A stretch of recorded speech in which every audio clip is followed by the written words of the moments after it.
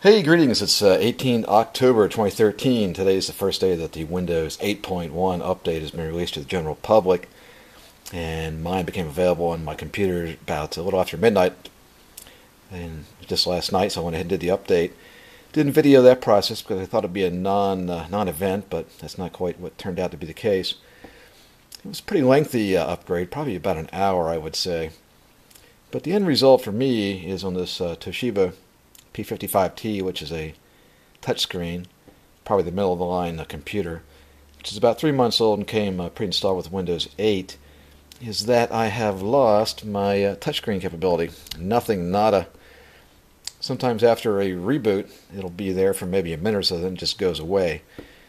Um, Toshiba did have me upgrade probably about five of their drivers before the Windows 8.1 upgrade, and then after that there was a few more. I also did a Windows update, but uh, still no luck. So, did a Google last night. Didn't see anybody else reporting the same problem yet. So we'll have to see what's going to happen there. Something else to report is that during the uh, 8.1 update process, it forced me to log into my Windows Live account, which it forced me to create back when I installed Windows 8 on this when I originally purchased it. Otherwise, I really have no desire whatsoever to have a Windows Live account for any reason. Apparently, Microsoft's trying to follow suit with Apple and Google and forcing you to tie your device, tablets, and phones in the uh, case of the previous two to uh, to their service, so they can keep track of you for whatever reasons that most of you probably already know and suspect. In any regards, I had uh, went ahead and set this up to have a local account after the initial install because, like I said, I really don't want to be tied to Microsoft can keep an eye on what I'm doing. I mean, this laptop's used for personal finances and business use, and data security is of utmost importance to me.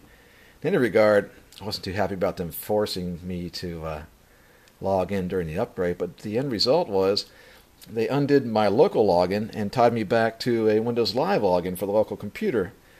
So what I had to do is I had to go to my settings,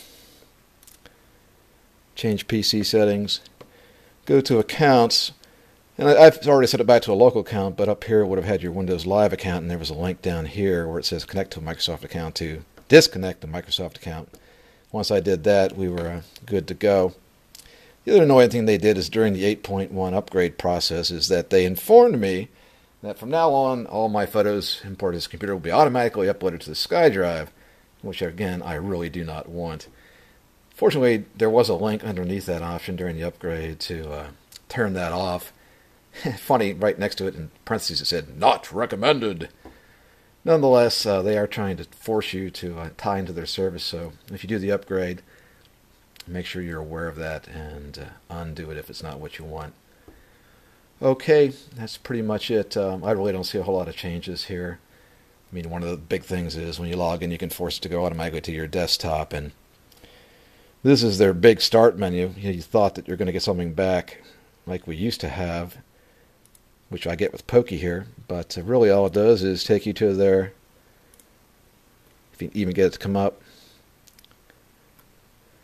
back to their funky Metro start. So I don't know how they consider that, giving you what you used to have in previous versions of Windows, but hey, we're just the customers. What do we know? All right, if I ever get this uh, touchscreen issue resolved, I'll let you know. Cheers.